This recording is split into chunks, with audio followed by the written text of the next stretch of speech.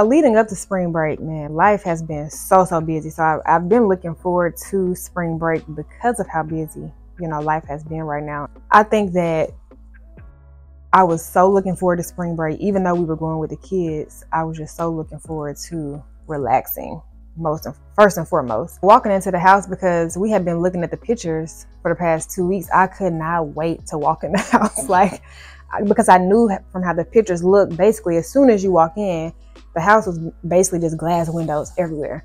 Then you could see directly, you know, into the mountaintops. So I knew for sure. As soon as we walked in that house, I just felt relieved, and I felt like I can finally just put my bags down. I don't care what the kids do. We all safe in this house. So I just felt like that's how I felt. And I was just so excited for the relaxation. It was walking into a, a space with a person who I really consider a close friend and just having some bonding, girl time, woman time. So that in itself was exciting because I'm just in this new season. And I told her, I said, at this stage in my life, if you are my friend, like you're experiencing the real me. Does that make sense? Like at this stage in my life, because I've done so much inner work, I've done so much healing, I've done so much, you know, just getting closer to God, knowing myself more, bettering myself, all the things. It's like if you are a friend in this season, you're truly just getting who I am as a person. And I and I told her that it's so comforting knowing that I can find a friend in this season when I'm like how for how I feel, I know I'm being me. And not that I've not been me, but just the old me was not who I am today. So even the old me, I was not this fake friend or I wasn't this fake person, but the journey that I've been on, so many things about myself have evolved I wouldn't say have changed. I'm still Makaila, but it's just like I've evolved into this new woman. So all that to say, this season of friendships um, is really special to me because of of just that. I just feel like I am my growing into who God created me to be and have people who rock with me knowing all of that, knowing who I am now, it just means so much more. I feel so blessed. For one, I've been praying for genuine friendships. You know, when for anyone who's evolved in life, it's not that you have beef with people who knew you or were in your life. It's just that I think compatibility shifts and there's so many things that you once bonded over with someone that you just either no longer are interested in, desire to do, or whatever the case is. It's like you evolve from the things that a lot of your relationships used to be based on. And so, like I said, it just in this season, it just feels, yeah, I feel genuinely, truly love. And not that I haven't in the past. That's why I don't want to keep like, I don't want to say that I haven't felt genuine love. I just want to say that where I'm at with it now, knowing what I know about myself. Like I, t- like I told you, or like you told me, like at this point, like my wall is completely down. So if I'm letting you in, and if you hurt me now, it's gonna hurt me Whereas like the old me, if you hurt me, it was just like a grudge type situation. I'm letting you in at the most vulnerable stage of who I am because I have no wall up anymore. For people who now everybody ain't just getting no wall down. you know what I mean? But I'm not just out here gullible and all that. I still am who I am, but it's a really it's a really good feeling. It's blessed and I feel like God hears our prayers. You got to stay focused on what He's telling you to do, but He'll send some people your way that's genuine. So, YouTube, it was a passion that I, you know, we did a vlog and stuff for like four, four solid years. Loved doing it until I didn't love doing it no more and I got burnt out. Took a break, found myself, found God, all the things. And the desire to get back on YouTube came back, and I was like, okay, but I don't want to vlog again. For sure, don't want to vlog again. So what? What am I gonna do? And I just remember God saying, like, just get on and talk to my people. And I'm like, about what? like, about what and when? And how, it, all, I just had so many questions after that, and it, and it was just a simple like talk to my people type of thing. And I'm like, okay. So boom, I get back on, I say I'm back. Without fully processing or or planning and praying and fasting and just like really like, you know, focusing on what God told me. I, I mean, I guess I did what he told me. I got back on and I started talking to his people, but I didn't have no plan after that. I got on to talk to y'all and posted a video. Well, I guess I posted three videos, pretty consistent, four videos consistently for like for like two month period. Um, and truthfully, I guess that man, um, distractions. Um, I think distractions and fear and doubt just like crept in like no other. It's like when we did them four videos, I was like, oh, this is it. We on fire. Like I'm I'm loving this. And then it's just like something just happened and everything just cut back off again, like out of nowhere. And then I'm like, oh my gosh, like five months have went by since I posted. What is going on? And so then I feel that pressure internally because I told I told y'all I'm coming back and now I've already been back off for five months. So just during this break, it's been a lot of conversations with God, and He haven't really given me anything else besides what He told me to do in the first place. and you know, conversations that me and you have had a lot too about what direction. I thought I wanted to get on Instagram and start posting reels. I thought I wanted to do day in the life content again. Literally still straying away from like the small, simple thing of like get on YouTube and talk to my people. Nobody told you to think about no reels. Nobody told you to think about this, that, or the third. And I think I just been running from it because mm, like when I used to do YouTube, it was just fun. And I really didn't understand like the impact that it was having at all until I got off and people was like reaching out like, oh my gosh, you don't know how much you inspire me and just all the things. And I used to tell Tabb like, what am I doing that's inspiring anybody? Like back then, because I didn't feel like I was. So now it's more like, we I just told Tabb this earlier today. It's just like I don't desire to get on YouTube and talk. I don't desire to like be no content creator.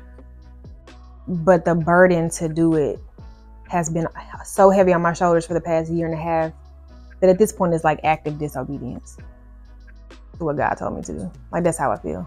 And the burden is because we talked like you brought this up and it's something that I know, but your assignment or whatever assignment God gives you is just not for you. It's it's for many people who are attached to your assignment. So whether just my kids are attached to my assignment or whether five women or a thousand women, whoever it is, I know that my assignment is attached to other people's, I don't want to say eternity, but just whatever it is that God is calling me to for that specific person or people. So like knowing all that and just the burden of like I told Tabb, it's like I'm not getting on here and showing y'all how to do makeup. I'm not getting on here showing cooking recipes or hey, this is how I'm decorating my house. I'm for me personally and just being a Christian, like I'm talking about the most important thing in life, which is getting closer to the creator of the world and like knowing how to have a relationship with him. And that's nothing to play with. And I've been running from it based on the seriousness of the topic at hand. So that's just what's been going on. Hmm, that's a good question. So I, I would say before God, because I always believed in God. I, always, I mean, I grew up in the church, but before I guess I really gave my life to, to Jesus for real, for real. There will be days where you know life was good, and so so honestly, like before God, I think you, me, I just kept myself so distracted from the hard things of life that I mean, sometimes life felt fun. Sometimes life felt doable. Sometimes life felt I can't wait till I can go run to this club, run, you know what I mean? Like life was not just terrible before God, but when life started getting real and the little fun phase was no longer a part of life because now I have kids now it's 2020 and we're stuck in the house and I have no job. Like now the fun distracting things of life are no longer available and I just started to feel purposeless. Like I just started to feel lost. I just started to feel um unfulfilled. Like inner like inner unfulfilled though. Like I just felt unfulfilled to my core. And before God, you know, I was a know-it-all. You couldn't tell me anything. Smart mouth, didn't care what I said. Oh, well, this is how I am. Um grudge holder, mean, God, you know what I mean? Like all the all the things, all the things, and huh? Lost. lost, very lost. But you don't. But sometimes you don't feel lost. Uh, like during like my season before God, like not all of it, I felt lost. Like some of it, I felt. I felt prideful in some of the actions that I had. I felt prideful in saying that I could just walk away from any relationship and not care about it. You know, there were certain things that I was cool if people didn't like me. I didn't care. It just was what it was. So I felt, yeah, I didn't have a lot of feelings actually. That's what I'm saying. It's hard to just say like, well, yeah, I didn't. I didn't have a lot of feelings.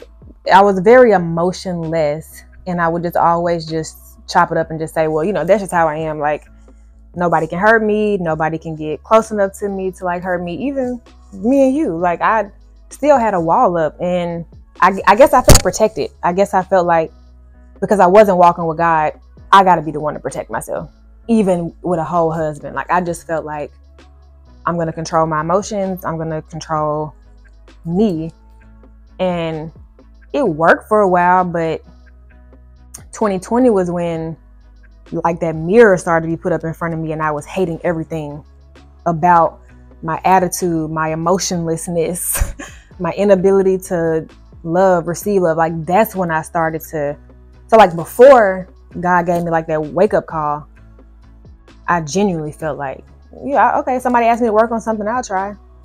But whatever. You know what I mean? Like I didn't have a lot of emotions. I didn't have a lot of feelings tied to things.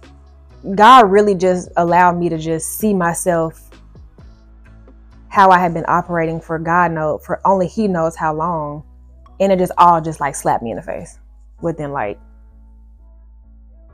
a six month period, and that's when I finally just answered God's call on my heart or knock on my heart because I started to feel so empty, and all the ways that I had were actually now showing up is just like disgusting behavior. like straight up disgusting behavior. Like straight up like, bro, how did you have any friends? Like and, and a man. Like, what is going on? You're you out of control.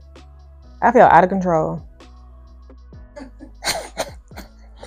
I feel ashamed, like my negative attitude. I just I was just and I talked about this and I think it's still posted. I was just like literally sick of myself and it was so crazy because I had never ever felt that way. I had never felt or or had any accountability for my actions. Like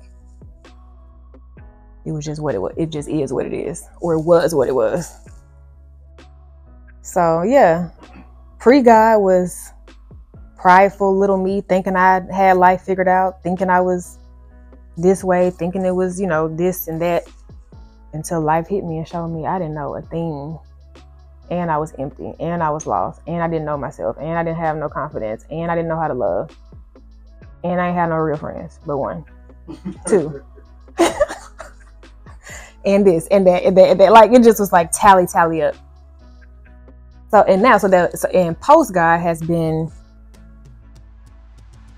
the the feeling has been of I would just say complete comfort knowing that like the creator of the world's in your corner.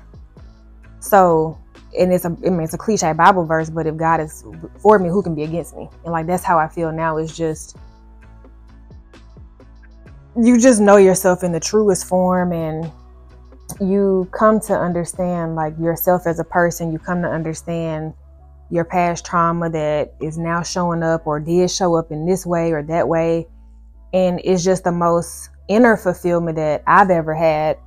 And it doesn't mean that every day is peaches and cream. It's just when the days aren't peaches and cream, you have that knowing in your mind that you're not just here for yourself. Because we live this whole selfish life. We live we live a whole self-centered life where everything is about me, me, me. So when things don't go your way, you throw a fit. But when you give your life to God and you read the Bible, it's like life is literally not about you. like it's just not about you. We're here for an assignment. We're here to glorify God and make disciples across the nations to help as many people as we can grow closer to God now that we know God. And actually, life is not about you. And actually, you're going to have a bad day. And the Bible does promise suffering. And so it's just coming into the knowing of, um, you know, just this new life. But it's been joyful, like inner joyful. It's been so much more purpose. It's been so much more genuine connections that I had with people. Um, it's been even now you still got to put the mirror up, but it's I'm way more like open to changing behaviors and working on this and fixing this and just finding the joy in all the things that I'm continuing to work on because for one, me becoming a better person and now I'm a better wife, a better mom, a better friend, and you just feel better. It's, it's just, it's good to be nice. like being mean is just nasty. And I just, I find so much joy in just being kind and just having this new aura about myself where literally like early in my walk, I remember we had went out to eat and the girl was just like, oh my gosh, you're just glowing. And I was like, oh, thanks. And I probably didn't have no makeup on or nothing. People can see your inner joy and they're drawn to that and that's we are literally supposed to be lights in this dark world but we should have people that are naturally drawn to us based on how we're portraying ourselves we're just interacting with people and i just find a lot of joy in just this new life it's simple but i love it i love it here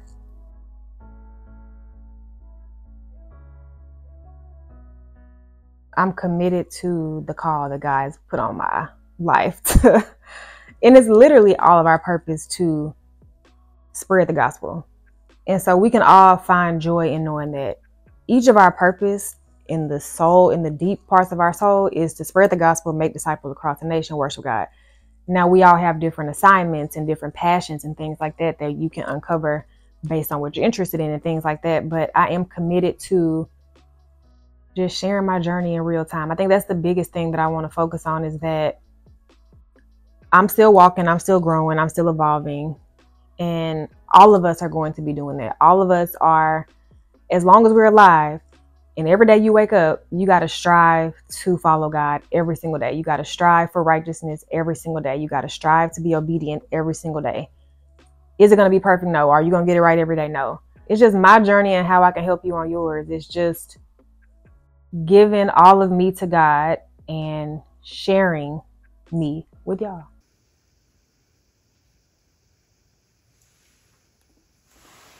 on. Well, Michael just put this lipstick on we get there.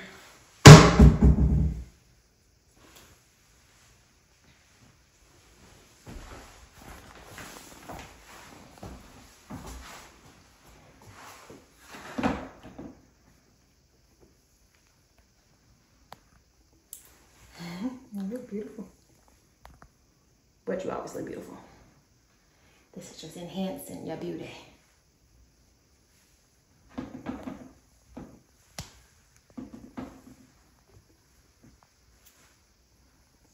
and yes, the most important reason I'm coming back is for sure obedience and God is calling me. But I I really love y'all. I really when I post a video and I read y'all's comments, y'all just don't know how much it feels me, encourages me, lifts me up. Um and I truly get teary eyed just reading y'all's comments. I truly just um, want to thank all of y'all who have been supporting me since day one, been patient with me since day one and has all, have always just encouraged me whether you reached out on Instagram to check on us like when we got off during covid so many people was just like are y'all alive at this point i'm just trying to make sure y'all straight and so yeah i just outside of god y'all are the reason i do this because if i'm not connecting with real people then what am i doing this for and so i just truly appreciate y'all and i just truly can't wait to just connect with y'all again and get back in the groove and talk to y'all through the camera, talk to y'all in the comments, message me, email me, all the things. And we're just all going to be on this walk together. Life is a journey and you have to have community. You have to have support. You have to have other people that you can lean on. You got to have your community. You got to have your circle. And so we are all in this together. None of us are perfect. None of us have it all figured out. I for sure don't. I'm just the one on this camera that God has put in front of the camera. So um, I lean to y'all for y'all's words of encouragement, your advice. I learned from y'all. And so I just want y'all to know that we're on this walk together. It's so much more that I think that God has in store for all of us and however he wants to flow through me to you and you to me and however he's going to move in this space. I'm just so excited. And yeah, we just in this together. And it's going to be a lot. Huh?